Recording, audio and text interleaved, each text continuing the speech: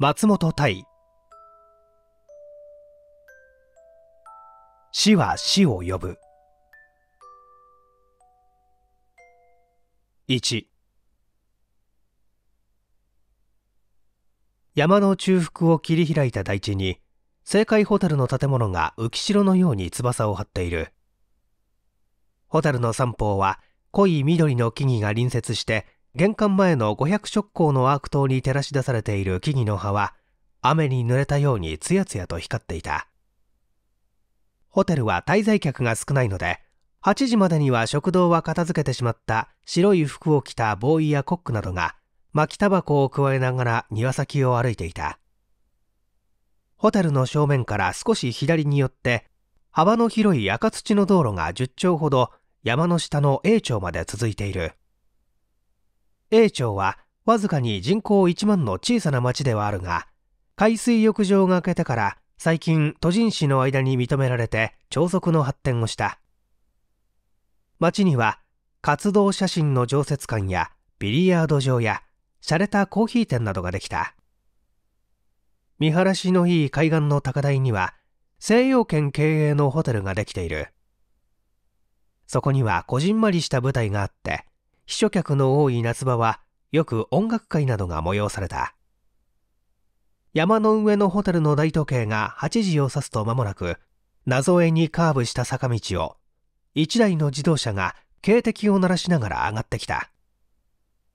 ヘッドライトが角々の松の梢を照らして次第に近づいてきて玄関の正面に車が止まった。石段の下に立っていた球児がうやうやしくドアを開けた。お帰りなさいまし。大層お早く。下はいかがでございました？と言いかけて、球児はふっと言葉を切ってしまった。自動車から降りた赤木夫人は非常な若作りで、クリーム色の地に派手なクジャクの縫い模様をした合わせを着て、オレンジ色の厚いフェルト草履を履いていた。実際は30をいくつか越しているが、血色も良く、頭髪も豊かで、ちょっと目には20代にしか見えなかった。扉を開けた球児は、機嫌がいでわがままな夫人の気質をよく心得ていた。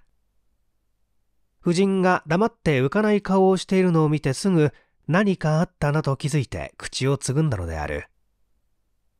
玄関脇のベランダに立っていたホテルの支配人の宅母は、腫れ物に触るように遠くから丁寧に頭を下げた。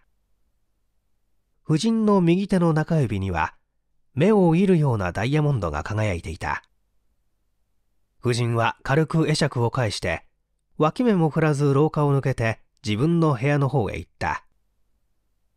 ちょうど夫人を乗せた自動車が玄関に止まった時2階の窓から見下ろした中年の紳士は醜い薄笑いをちらっと浮かべて窓を離れた。男は赤木夫妻と前後して10日ほど前にこのホテルへ投宿した能楽師森口義太郎と称する登竜客である。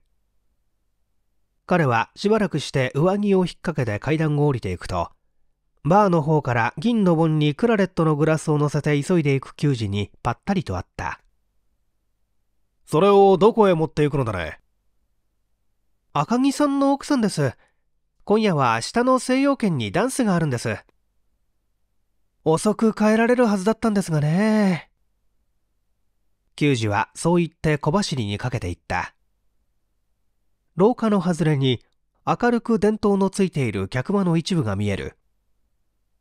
カーテンの影にちらちら2、3人の人影が動いている。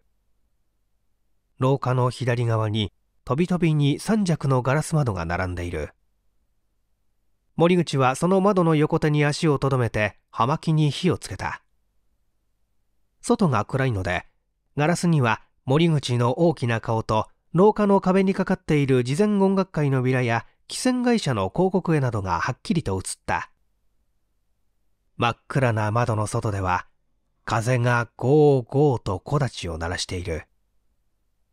客間の一隅で一人離れてタバコを吸っていた長髪の青年は、廊下に森口の姿が見えると、つと席を立って、そこに居合わせた人たちが美穂くん美穂くんと呼ぶのも聞こえない様子で反対の戸口から出てしまった。入れ違いに客間へ入ってきた森口は気軽にみんなに挨拶をした。今夜は君も舞踏会へ行かなかったのかねそのうちの一人が言った。少し書き物があって忙しかったので、遅れて行くつもりでしたが、もう今になったら気が進まなくなりましたよ。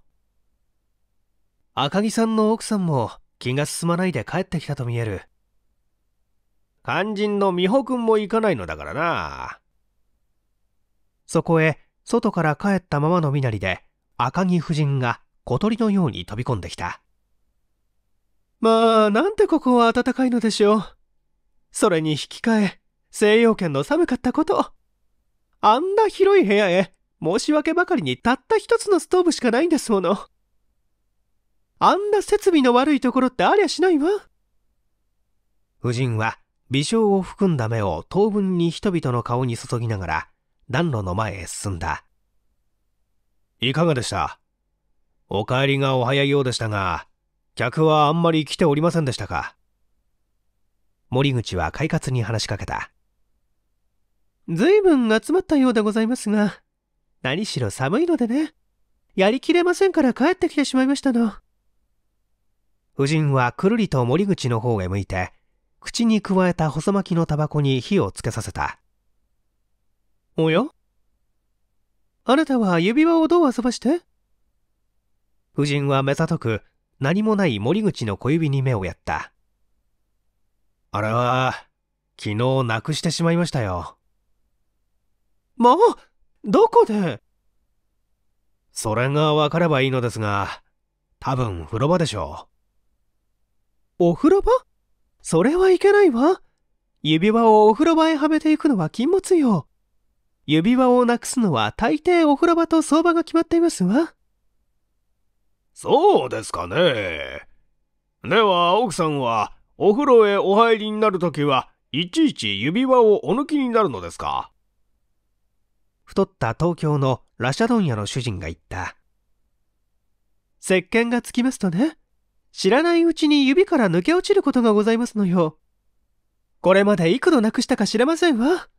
ですから、風呂へ入るときは忘れずにできますの。でも森口さんのあのエメラルドは惜しいのね。床を外してもらってもう一度探してごらんあそばせよ。指輪といえば、あなたはいつも小指にはめていらっしたのね。あれは一生独身で暮らすという印だというではございませんか。夫人は笑いながら言った。別にそういう意味ではないのですがね。と森口が言うと。いや、森口くんは気長にいい人を待って結婚しようという手のいい求婚者ですよ。と誰かがやじった。美しい赤木夫人を取り巻いて数人の男が談笑しているところへ、ボーイが夜割り毛に入ってきた。みんなはふっと話をやめて、天でにどこからか伝言の来るのを予期しているように球児の方を見た。球児はつかつかと森口の前へ来て、お電話でございます。お名前を伺いましたが、電話口へ出ていただければわかるとおっしゃっていらっしゃるのです。と言った。森口は眉を潜めて球児と一緒に部屋を出て行った。森口は電話室へ入ると、君かね僕は君が一緒に帰るかと思ったから一人で帰ってきたんじゃないか。美穂が行かなかったのでひどく不機嫌だったって？あの男を今夜の舞踏会にやらなかったのは僕の書いた寸法なんだ。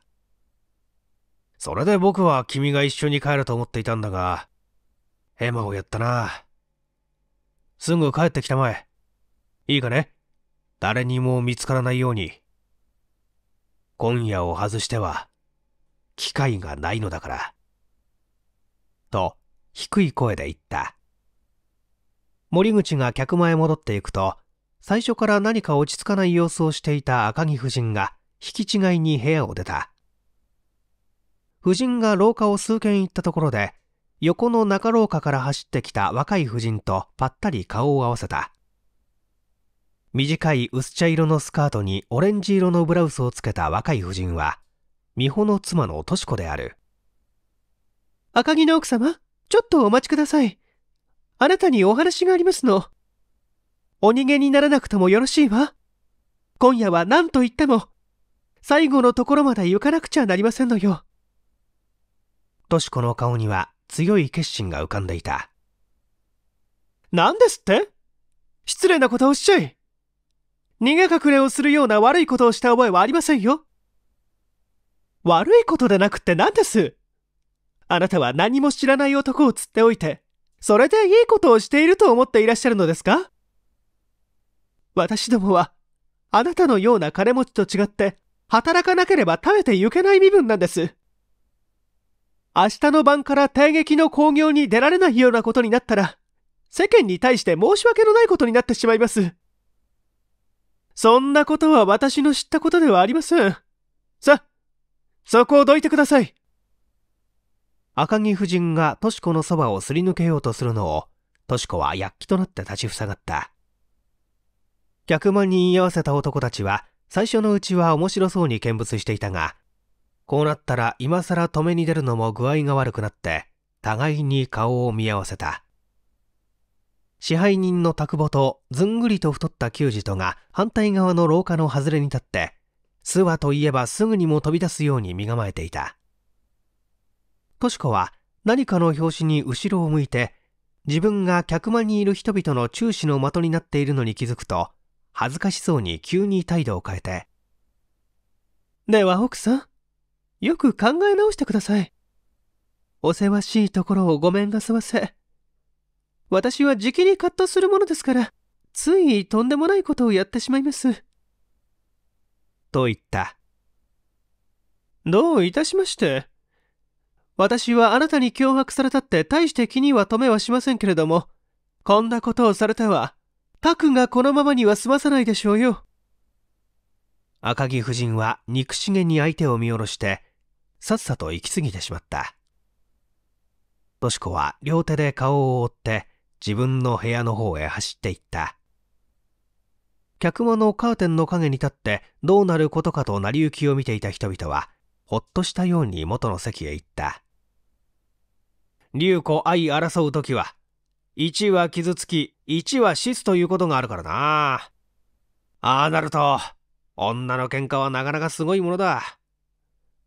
と誰かが言うと、そうとも、あの剣幕じゃ何をしでかすかわからない。赤木夫人はこれまでももっぱら塩分を流しているからね。至るところで犠牲者をこしらえているよ。美穂君もその一人か。僕らはどうだろう犠牲者の一人にはなれまいかね髪が薄くなっちゃおしまいか。美穂君はあれでなかなか純な男だから、サ君と赤木夫人との間に立って大いに反問しているんだ。そういえば、美穂君はどこへ行ったろう？ついさっきまでその辺にいたんだが。人々は何ということなしに辺りを見回した。森口は真っ暗な窓のそばへ寄って風の音に耳を傾けながら。だいぶ風が強くなったよ。明日は天気が崩れそうだ。明日は天気が崩れそうだ。と、つぶやいた。2海浜のホテルから近道の松林を越して正解ホテルの広場へ出た橋本はしばらく節くれだった楓の木の陰に身を潜めていた1、2時間ほど前までは白い服を着たボーイや料理人がその辺りをブラブラしていたが、風が出てきたので暖かいコック部屋へ引っ込んでしまった。見渡したところ、どこにも人影はなかった。橋本は無意識に上着のポケットへ手を突っ込んでタバコを探った。彼はタバコを吸いたかったけれども、マッチを吸って人目につくことを恐れてやめにした。彼は高いホテルの屋上にかかっている星を見上げた時思わずため息をした。彼が二度目のママ母と折り合わず私立大学を中途で辞めて家出をしたのはもう10年も前であった。それからの彼は会社員になったり映画俳優になったりしていたが生来の美貌がたたって行く先々で女のためにしくじった。その挙句は金に詰まって万引きをして前科を作ってしまった。暗闇の中から見るホテルは何という明るさであろう。そこには華やかな人間の生活がある。やましいところのない人々は自由に話し何の屈託もなく楽しい食事をとっている。彼は自分とホテルの生活との間にひどい隔たりを感じた。彼はふと渋谷にある親の家を思い出した。生垣を巡らしたささやかなうちには彼が家出した晩と同じように暗い伝統が灯されているであろう。小さかった妹や弟たちは10年のうちに大きくなって彼はもはや家族から忘れられた人間になっていた。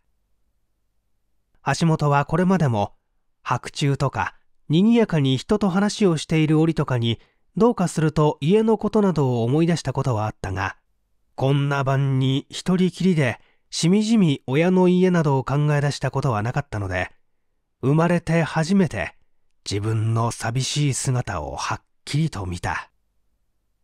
彼はどこの何者とも知れぬ森口とかいう男の手先になってこうしてある目的を持ってこのホテルに泊まり込んでいることを考えてちょっと悔やむような心持ちになったが彼のすぐ目の前にはキラキラと目を刺すようなダイヤモンドが四方八方に光を散らしている。それは赤木夫人が左手の中指にはめている有名なダイヤモンドの指輪であった。最初の計画通りホテルの滞在費を資本として守備よくその指輪を夫人から奪うことができれば二人で分けようとも三つに分配しようとも男一匹一生涯遊んでいて食えるはずである。橋本はめめしい心持ちを払いのけるように奮然として立ち上がった。彼はホテルの横手へ回って物置小屋に続いた窓へ寄っていくと思いがけず人間の入れるほど開いていた。ありがたい。森口がそっと開けておいたに違いない。橋本は窓の縁に手をかけるとスルスルとホテルへ忍び込んだ。入ったところは具合よく便所のそばである。客間には灯火がつけっぱなしのままで人影がなかった。客間を横切って廊下伝いに赤木夫人の部屋のある方へ曲がりかけた時廊下の外れのカーテンにちらと人影が映ったので慌ててドアの後ろに隠れた。23分して彼はまた歩き出した。とにかく何より先に森口に会わなければならない。彼はそう思って大回りをして誰にも顔を合わさずにようよう裏階段の下まで来た。階段を上がろうとすると2階の廊下を何者かがコツコツと歩いてくる靴音がした橋本は卑怯のように身を翻して階段の影にかがんでしまったそれより他に道がないので見つかったらそれまでと観念した靴音は階段の上でぴったりと止んだ。と思うと、靴音は階段を降りて、まっすぐコック部屋の方へ行った。それは、支配人の拓保であった。拓保がこんな時間に見回りをするなどということは、めったにないことであった。それに、まだそれほど夜が更けているわけでもないのに、どの部屋にも電灯がついていながら、不気味なほどホテル中がひっそりとしているのが気になった。今夜は様子がおかしい。この上は森口の部屋なのだから、ことによると感づかれたかもしれぬぞ。橋本は、拓保の姿が廊下の外れに消えるのを見すまして、素早く2階へ上がっていった。2番目の戸口が森口の部屋である。橋本は音のしないようにドアを開けてそっと部屋の中を覗き込んだ卓上電灯だけをつけた部屋の真ん中に荷造りを仕掛けたカバンが投げ出してある部屋に入りきった橋本は後ろの扉を閉めると洗面台の前に立っていた森口がぎょっとして振り返った。彼の手には血痕のついたタオルが下がっていた。橋本は一目見て恐ろしい胸騒ぎを感じた。おお君だったのか。早くカバンの始末をしてくれたまえ。森口は早口に言った。森口君君はやったのか橋本は息を弾ませながら叫んだ。ちょうどいい機会にぶつかったものだから君の来るのを待っていられなかったのだ。僕は君がそんな荒仕事をするとは思わなかった。そんなくだらない文句を言っている場合ではない。一刻もぐずぐずしちゃいられないんだ。さあ君は僕の持ち物をさらって逃げるんだ。例のところで会うからね。と森口はせき立てた。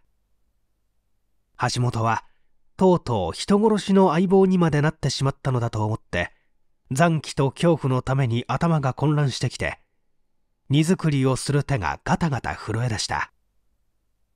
森口はそれを見て臆病なやつだ。と悪魔のような笑いを漏らした。君はあの婦人の指輪を盗むために。と橋本が言いかけた時不意に建物のどこかで人殺し!人殺し!誰か来てください!という女の悲鳴が起こった。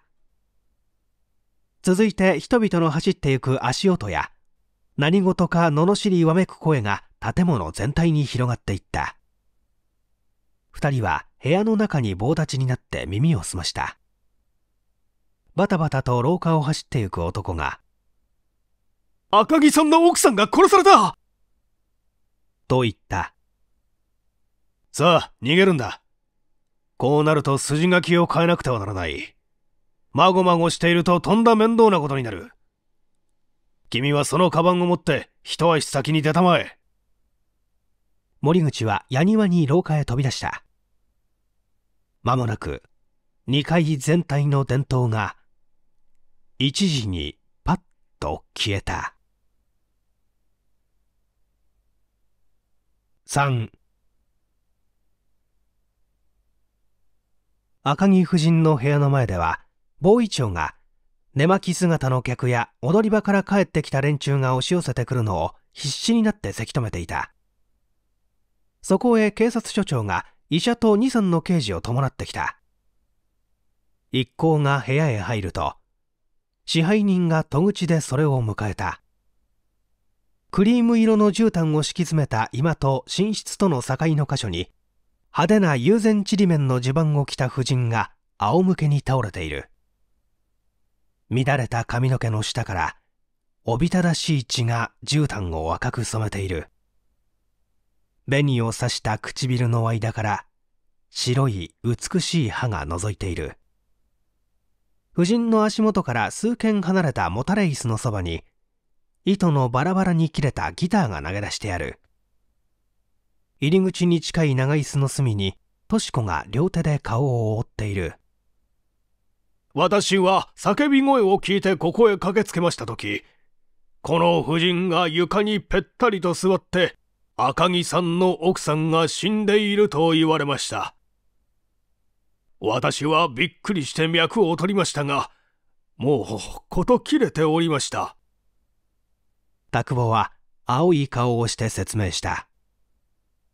君が署へ電話をかけたのは、無論すぐでしたろうね。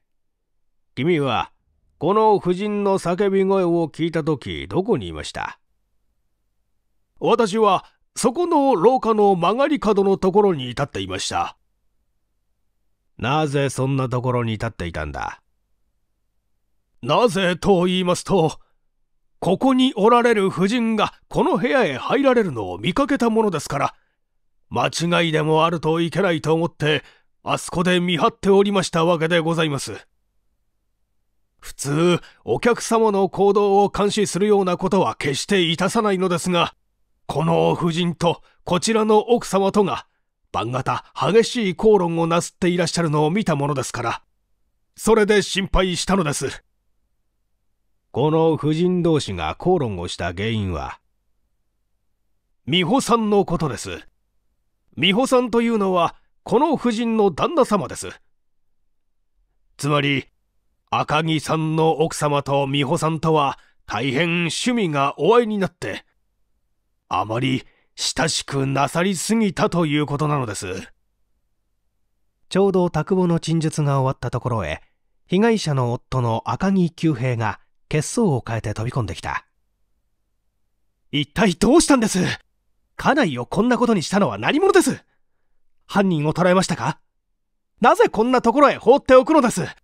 なぜ早く手当てをしてくれないのです？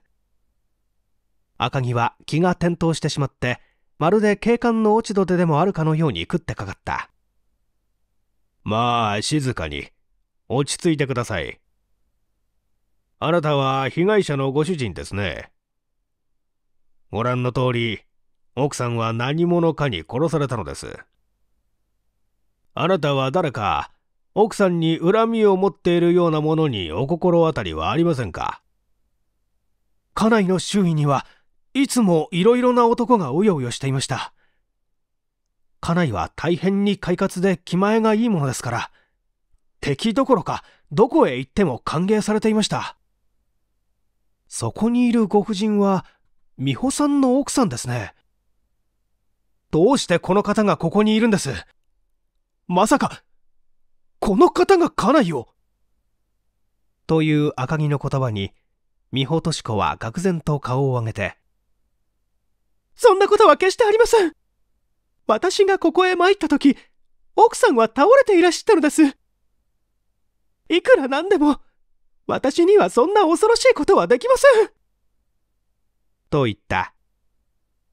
所長は何か言おうとする赤木を遮って、とし子の方を向いた。あなたがこの部屋へ入っていらした要件は？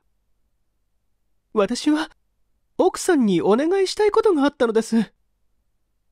こんな遅くなってから来なければならないほど急な要件だったのですか。こういう場合ですから、どんな秘密でもあからさまにお話になった方がいいでしょう。さあもうないと、あなたの立場を不利にしますからね。所長の言葉は、鉄頭鉄尾とし子を疑っている様子でもなかったので、彼女はいくらかほっとして、自分の夫と赤木夫人との関係を語った。そして、私どもは、どうしても明朝一番の記者で東京へ帰らなければなりませんのに、美穂はどこへ行ったか、未だに部屋へ戻ってこないのでございます。それで私は、きっとこちらの奥さんのところへ伺っているだろうと思って、奥さんから東京へ帰るように進めていただこうと思いまして、それでお願いに上がったのです。あの人は、明晩から帝劇へ出演する契約ができておりますので、それを外すとあの人の人気に関わるばかりでなく、私どもの生活が破壊されてしまうのでございます。と言った。すると、あなたがここへいらした時、ご主人の美穂さんはこの部屋にいたのですか？いいえ、おりませんでした。もし美穂がここにいたら、今でもここに残っているはずです。私が声を立てて人を呼んだのは、ここへ入ると同時でした。たくまさんがすぐ駆けつけましたから、誰もこの部屋から逃げる隙はありません。所長は壊れたギターを指して、これは奥さんのですか？と赤木を顧みて言った。いえ、それは美穂という男のものです。あいつはきっと私の不在中にこの部屋へ入り浸ってギターでも弾いてふざけていたのでしょう。しかし、家内は誰とでも気軽に交際しましたが、決してみだらなことはしません。あれは無邪気な子供のような女でした。美穂なんて卑しい芸人のことですから、家内の無邪気な振る舞いにつけ込んで何をしたかわかりません。おそらく家内は、生命を賭して潔白を守ったでしょう。と言いながら、赤木はなぜか席を移して化粧台のそばへ立った。鏡の前には、緑や桃色やクリーム色の化粧水の瓶が雑然と並んでいる。そのそばに、飲みかけのクラレットのグラスが置いてあった。入り口に近い椅子の上に、ネズミ色の中折れ棒が無造作に置いてある。それを黙って眺めていた所長は、不意に赤木に向かって、あなたは今夜どこへ行っていたのです私は夕方から下の西洋圏へ行っておりました。お一人ですか家内も一緒でしたが、私だけが後に残りました。それはどういうわけです？多分家内は誰かと約束でもあって先へ帰ったのでしょう。私どもは互いに信じ合っておりますので、決して妻だろう、両夫だろうといったような拘束は加えないことにしておりました。ですから、家内は私と一緒に外出しましても、帰りたくなれば勝手に帰りました。今夜も8時頃西洋圏で食事をすることになっておりましたのに、姿を見せなかったので、またいつもの気まぐれで先へ帰ったものと思いまして、格別気に留めませんでした。そんなことは、これまでにもたびたびあったことですから。奥さんがここへ帰った時刻は所長はちらと拓保の顔を見た。8時頃でした。赤木さんのお帰りになったのは私は今帰ったばかりです。すると、あなたがこの部屋へ入っていらした時は、西洋圏からまっすぐにお帰りになったというのですね。それに違いないじゃありませんか。なぜそんなつまらぬことをくどくどと聞いて時間を潰しておられるのです。早く犯人を捕まえる手配をなすったらいいでしょう。ぐずぐずしているうちに、犯人は高飛びをしてしまうではありませんか。赤木はもどかしそうに言ったが、ふと死骸のそばへ寄って、冷たくなった夫人の手を気味悪そうに持ち上げて、あ指輪がないと叫んだ。その拍子に、彼が今まで影にしていた化粧台の後ろからいきなり白猫が飛び出して部屋を横切って廊下の外へ逃げていった。ダイヤモンドの指輪なら、奥さんはさっきまではめていらしたが。支配人の拓保は、夫人の手から視線を鏡台へ移した。鏡の前のサンゴの指輪掛けにはいくつもの宝石のはまった指輪がかかっていたが、いつも夫人の右手の中指に三然と輝いていた問題の指輪はそこにはなかった。赤木は慌てて化粧台へ駆け寄って、引き出しの中の宝石箱をかき回した末、確かに盗まれたのです。あれは私がブラジルにいた時、1万2000円で買い求めた宝石で、今ではいくらするかわからない代物です。と、絶望的に言った。所長が紛失した指輪について聞き出しているうちに、検視を済ませた医者が長さ6寸ほどの文鎮を持って所長のそばへ来た。夫人は後頭部に致命的な裂傷を受けています。凶器はこれですね。一、二軒離れたところからひどい勢いで叩きつけたものです。角のところにこんなに血がついています。と言って、血痕の付着した部分を示した。この文鎮は誰のものです？所長はそこにいる人々の顔を見回した。おお、それは図書室の備え付け品です。拓保が答えた。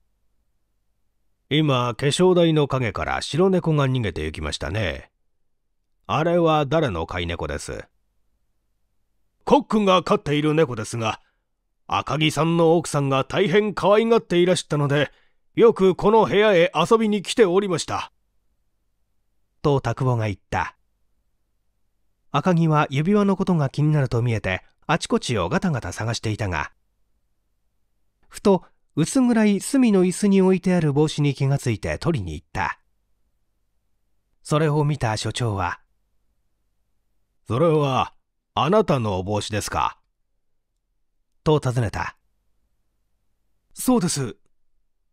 私のです。赤木は怪げそうに所長を振り返った。それはしばらくそのままにしておいてください現状になるべく手をつけないでおきたいのですよ。赤木は言われた通り帽子をそのままにしておいて所長の耳に顔を寄せて指輪の件についてはあの夫人をよく調べてみてください。あの夫人はひどく金に困っていたようですから。と長椅子の端に焦然とうなだれているとし子を指さしながらささやいた。それからもう一人あの指輪に興味を持っていた男があります。それは橋本というのっぺりした野郎です。今夜も舞踏場までついてきていました。と付け加えた。医者と拓保はボーイを手伝わせて夫人の死骸を静かに隣の寝室へ運んでいった。しばらくすると医者が戻ってきて夫人の懐にこんなものが入っていました。と言って、小さな紙切れを示した。恋を勝ちうるは悲し。されど恋を失うはさらに悲し。風を投げ打って恋に行くべく、私の魂はあまりに伝統的な拘束を受けている。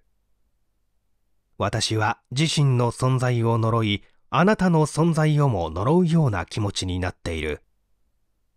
我々は筆境、生まれてこなかった方が幸いであった。禁断の好みを盗み得ぬ弱き男より、愛する君へ。細かいペン字を読み終わった所長は、禁断の果実か。はは。と苦笑を漏らしたが、すぐ真面目になって。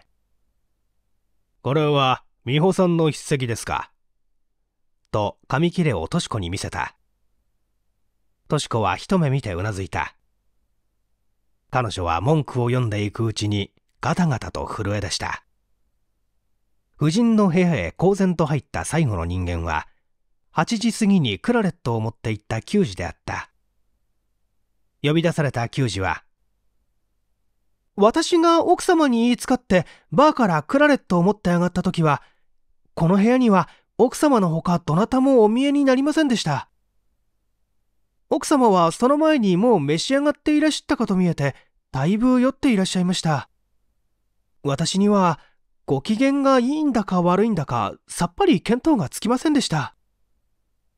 奥様は後でお風呂を使うかもしれないから女中に加減を見させておくようにとおっしゃいました。私が部屋へ入ってまいりました時は、このギターはちゃんとして長椅子のところに立てかけてありました。そしてそのそばに猫が丸くなって寝ていました。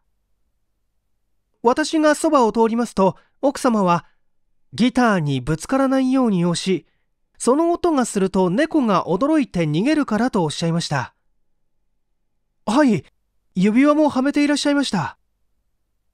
それからじきに奥様は、客間の方へお出かけになったようでございます。給仕の言葉が終わったところへ、ホテルの滞在客や使用人らを取り調べに行った若い刑事が戻ってきた。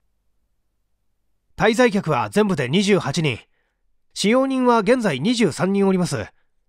使用人側では欠けたものはありませんが、滞在客のうち3人が行方不明です。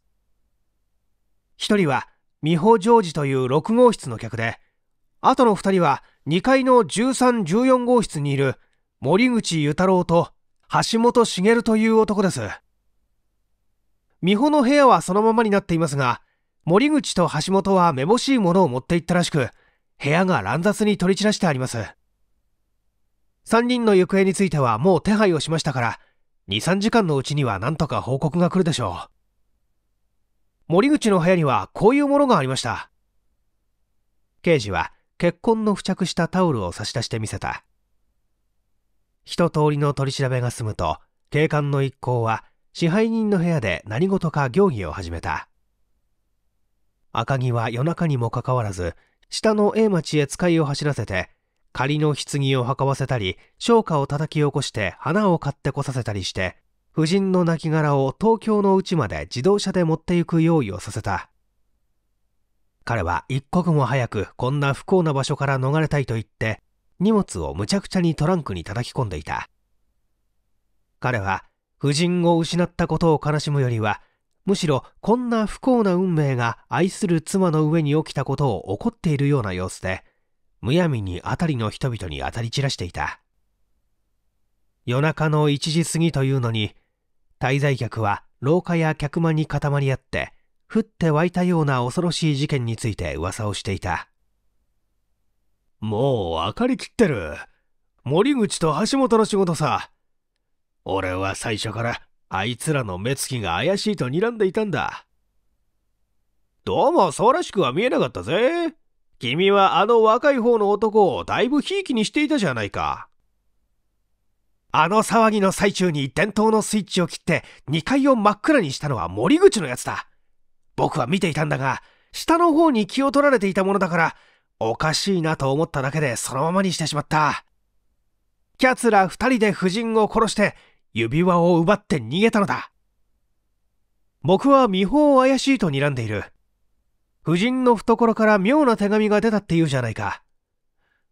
橋本と森口が指輪を盗んだとしても、男二人もかかって人を殺すなんて、そんな不器用な真似をすることはないだろうと思う。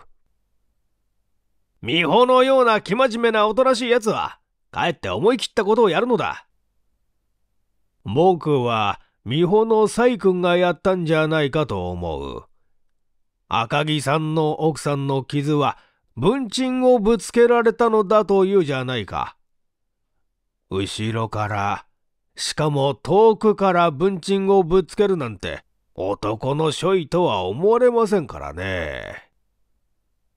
ああ、二人の夫人の間には殺人罪を構成するだけの動機も十分にありました人々は興奮して夜の更けるのも知らずに論じ合っていた4夜がしらじらと白んだ頃黒ビロードで覆われた赤木夫人の棺がホテルから運び出されて玄関先に横付けになっている自動車に移された人々は皆玄関へ出て、寂しい夫人の棺を見送った。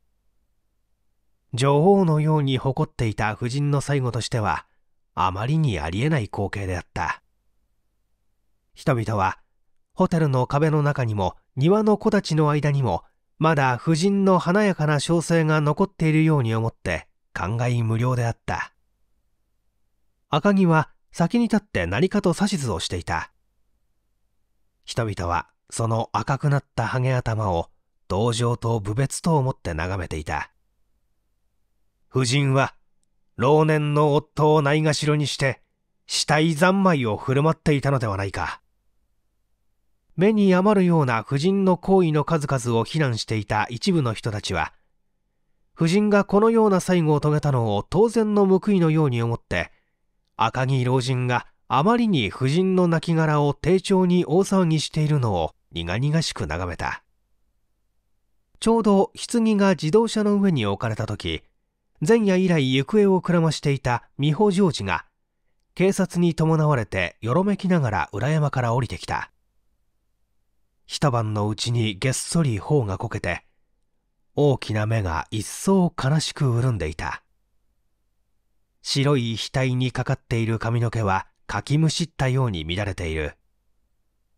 彼は棺を見ると、狂人のようにそばに駆け寄って、奥さん奥さん許してください僕があなたを殺したのだあなたの言葉に従って一緒に逃げてしまえば、こんなことにはならなかったのだ。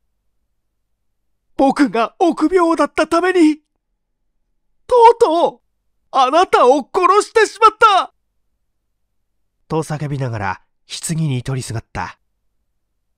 貴様か貴様か！赤木は肉肉しげに美穂の肩先を掴んで小づいた彼はよろよろと大きな樫の木の根元に倒れかかったが起き上がろうともしないで子供のように三然と涙を流した。とし子は慌てて夫の肩に手をかけて抱き起こすようにしながら「嘘でしょ？嘘でしょ？あなたが殺したのではない。あなたが悪いのではない。と夢中になって叫んだ。赤木はそれらの光景を尻目にかけて自動車へ乗ろうとするとそばに立っていた所長が「赤木さんお待ちなさい。あなたにはまだ用があります」と呼び止めた。え？私は家内と一緒に行こうと思うのですが。赤木は少し感傷的な顔をしてみせた。夫人の棺を乗せた自動車は静かに動き出した。ちょっと待ってくれ。私も一緒に行くから。赤木は慌てて運転手に声をかけた。あなたが奥さんと一緒にいらっしゃろうというのは当然です。どうせ行く先は同じですがそれには法律上の手続きを踏まねばなりません。所長は冷ややかに言った。赤木のテラテラした額が白くなったり赤くなったりした。若い刑事はつとそばへ寄って赤木の手首にガチリと手錠をはめた。玄関に立っていた人々は一段になってぐらぐらと揺れた。赤木さんあなたは万事が思う壺にはまったと喜んでいたでしょうがあなたが望みをかけた三人は帰ってきてしまいました。森口、橋本、美穂。この三人が行方をくらましていたのは、そのうちのどれかがあなたの犯した殺人罪を背負っていてくれたかもしれません。森口は、赤木夫人の入浴中に指輪を盗んで、橋本と一緒に逃げたのです。彼らの最初の計画では、橋本が森口の所持品を解体したと見せかけて先に逃がし、警察の注意を橋本に向けておいて、森口は後から悠々と引き上げるつもりだったのですが、赤木夫人が殺されたと聞いて、急に森口も一緒に逃げたのです。タオルの結婚は、森口がカバンの錠前を壊した時指に怪我をしたのです。美穂は反問して一晩中森の中をうろついていたのです。この方は炭焼き小屋のじいさんがアリバイを立てています。あなたは奥さんが西洋圏を出ると20分ばかり遅れて密かにホテルへ帰ってきました。あの時あなたは奥さんの部屋から飛び出してきた男を美穂だと思ったでしょうが、実は森口が指輪を盗んで逃げ去ったのです。あなたは部屋へ入ると、奥さんが寝室へ行こうとする後ろ姿を見て、いきなり文鎮を投げつけたのです。その文鎮は、あなたが下の窓から忍び込んで図書室を通った時持ってきたのです。それからあなたは、美穂をやっつける代わりに美穂のギターを床へ叩きつけたでしょう。あなたの嫉妬に燃えた血は、奥さんの死骸を見て一時に冷めてしまった。あなたは素早くホテルを抜け出して、時が来るまで裏庭の竹やぶの中に隠れていましたね。そして騒ぎが起こってから何食わぬ様子で戻ってきたのです。赤木の額からは玉のような汗がにじみ出ていた彼は幾度か何か言おうとして口をパクパク動かしたが声が出なかった所長は赤木の顔を見据えながら言葉を続けて「あなたは大変な失策をやっている。あなたは最初に部屋へ入った時日頃の習慣で無意識に帽子を取って椅子の上へ置きました。そして、強行後慌てて部屋を立ち去るときに、その帽子を忘れて行きました。私は現場へ入ると同時に、あの帽子に目をつけました。あなたが後であたふたと入ってきたとき、帽子をかぶっていないことに気がつきました。それからあなたの靴は夜露に濡れて、ズボンにやぶじらみがついていましたね。西洋圏からまっすぐに帰ってくれば、どこを歩いてもやぶじらみや夜露がついてくることはありません。そうそう。あなたが教皇を演じた時現場に立ち会ったのは、あの白猫でしたね。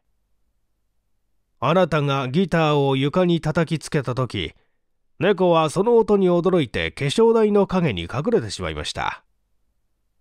あなたが再び現場へ戻ってきた折に、猫が化粧台の後ろからそろそろ這い出してこようとしたのを見つけて、あなたは気にしてしきりに足で追い込んでいましたね。あなたの犯行を猫が見ていたのですよ。それであなたは気が咎めたのでしょう。どうです赤木さん？私の言うことはいちいち図星を指しているでしょう。どうせ行く先は奥さんと同じだという意味はお分かりになったでしょうな。あなたは公主台へ上がって、一足遅れて、奥さんのいらした死の国へ行くのですよ。